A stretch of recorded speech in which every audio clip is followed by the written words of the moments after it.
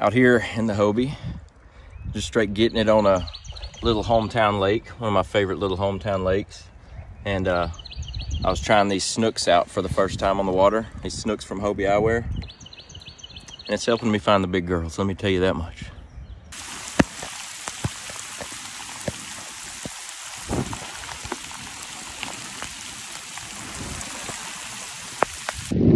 Well, the weather's bad, but they still biting.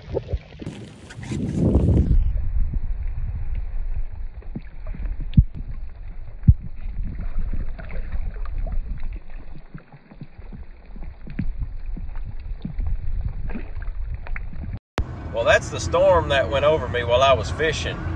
Uh, it did not look that bad when I was underneath it.